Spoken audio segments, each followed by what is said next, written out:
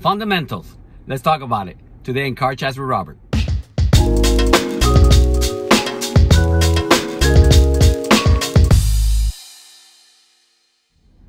Hi guys, this is Robert Rivera with the Rivera Trading Group in association with Trend Trading Academy. And when it comes to fundamentals for a technical analyst, uh, the main fundamentals that we're interested in is news. And unfortunately for me, I forgot last night that USD had news this morning, like a lot of news. Of course, I was aware that GBP had news. It was coming at 4.30 in the morning. And so I set out uh, a setup that should have provided a, it was, it is still a nice setup. it's bad. It's bad when I have to say that it is still a good setup because what it means is that nothing happened. All night long, nothing happened. Now, what did happen for me is that I lost some money because I kept trying to catch the breakout and I didn't get it. And I ended up really over trading. You know, I lost some trades and then I, I got some back. And in the end, I ended up like 180 in the hole or something like that, which is no big deal. But still, it's frustrating night because I was not aware that news was coming out on the USD. I was aware of the GBP and the GBP did nothing. You know, when 430 came, nothing happened, you know? I was watching it, nothing happened. Um, but then I forgot completely about the USD news. And in fact, had I been awake, I would have been able to make some money on that 10 a.m. candle that shot up to the sky. Let's look at it in the charts. So looking at the market last night, uh, this is the setup as I had it. Uh, I had a trend line coming from way down south uh, that provided a good opportunity for a sell um, if it came about, if it broke down below it. Um, and in fact, it did some at some point during the night. Yep, at some point during the night, it did break below. Uh, but when I sent it here, this is where price was at. I was actually in class teaching about the about how to find the zones and all this other stuff. And of course, we're very aware that it's running into an area of supply in the market and is run into uh, a golden zone also, which is part of the Fibonacci uh, retracement right above the top yellow line.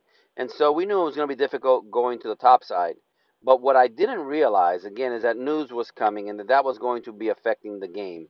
Uh, the news that occurred following did not really, uh, at 4.30, no big deal. But because the USD news was coming out, the market kept hesitating and kept going up and down, up and down, up and down, very jagged. I mean, this is what we ended up with. Uh, as you can tell, no, no, no continuation.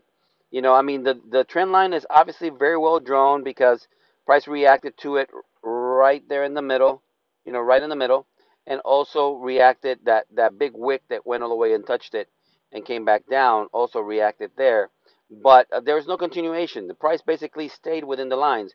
It broke. Um, let me see, what time was that? It broke on the 3 a.m. candle, um, and immediately came way back in. You know, it attempted again at the 5 a.m. candle, and it came right back in. You know, um, this is the kind of jagged motion that you can expect when you have news coming out, and it's just not worth trading. You basically waste your whole night. In my case, waste my whole night trying to catch something that is not going to happen um, because again, the, because either the anticipation of news or the because of the result of news. When news comes out, there is how can I say?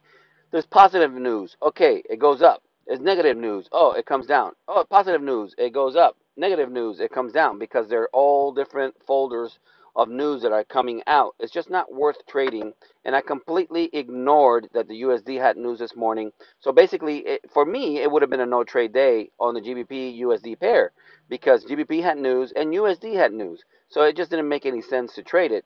And yet there I was. Uh, Jay sent out a GBP AUD, but I didn't get a notification. I completely missed it. So I did not have an opportunity to trade anything else.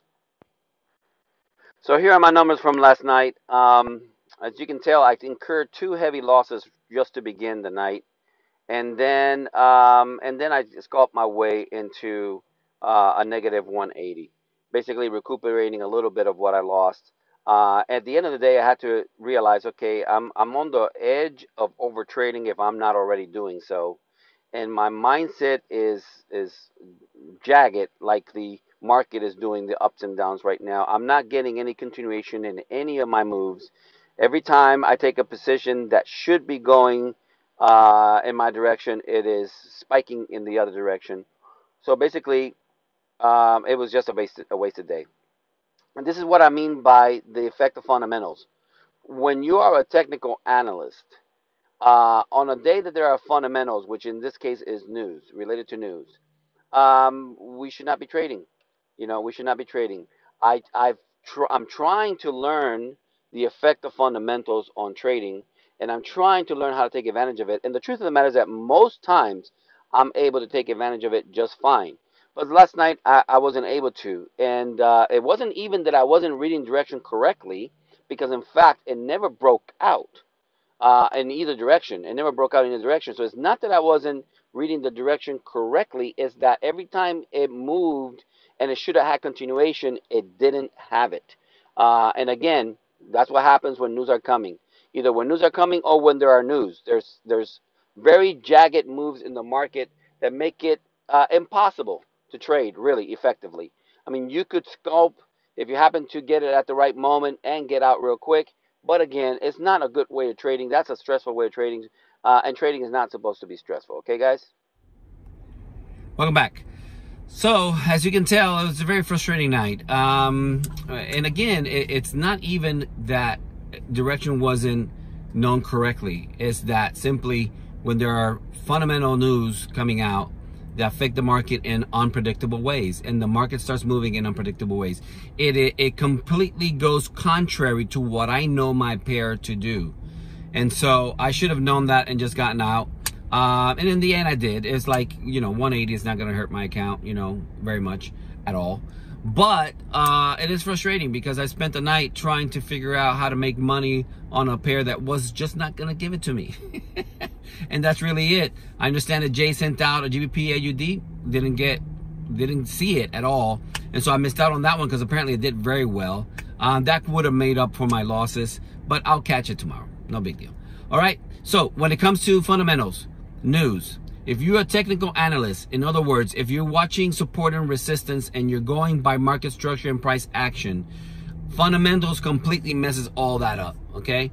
So the best way to deal with fundamentals if you're a technical analyst is not to trade. Take the day off. And I should have taken the day off when both of my pairs, the GBP had news and the USD had news.